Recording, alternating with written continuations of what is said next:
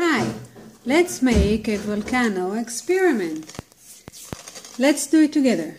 Take two tablespoons of baking powder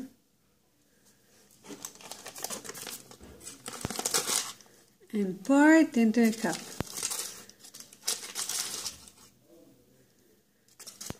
Add one half cup of water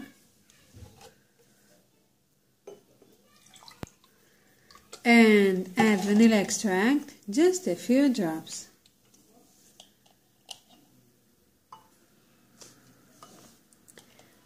Now please add one spoon of cleaning liquid.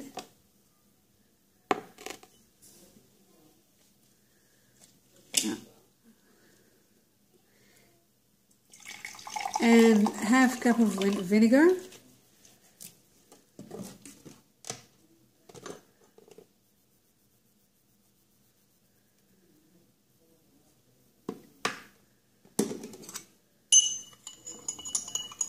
and mix it in the cup. And look see what happens now. Wow the volcano exploded.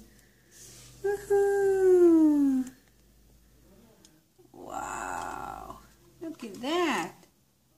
Thank you. Bye